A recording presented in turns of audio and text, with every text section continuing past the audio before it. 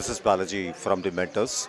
Today uh, we have assembled here in this uh, particular event basically to do two things. One is to celebrate the uh, winning uh, team in the national championship of uh, First Lego League that was held in uh, Hyderabad on 21st and 22nd of January.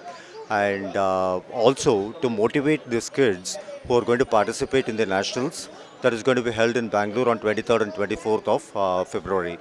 So the good part here is these kids, the two teams that, that is going to participate in the nationals, are going to represent Telangana.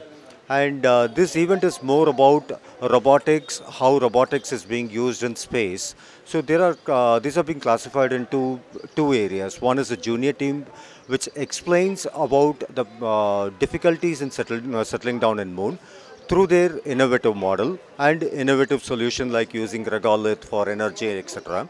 And uh, there is another team which is the seniors, which have built an innovative robot which actually performs tasks in the moon to overcome the issues. For example, uh, how do you get velocity? How do you transport uh, people into space? So on and so forth in a robotic model or working model. Also, these kids have done a research basically on taking up one predominant issue that every astronaut faces in space during a long duration space mission. What is that issue? That issue is psychological issue.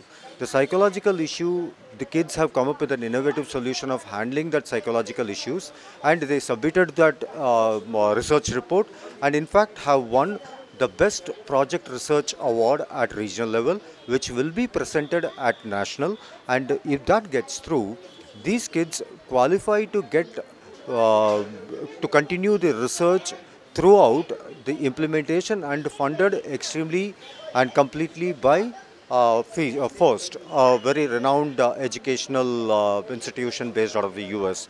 So that is the reason we have assembled here to motivate the kids and also to exhibit the creativity of these kids to rest of the kids to get inspired and take up robotics as one of their hobbies or career how to, however they want to take it forward from robotics perspective because we teach kids not just to do robots but we teach kids to build robots and build the robots of their imagination. Thank you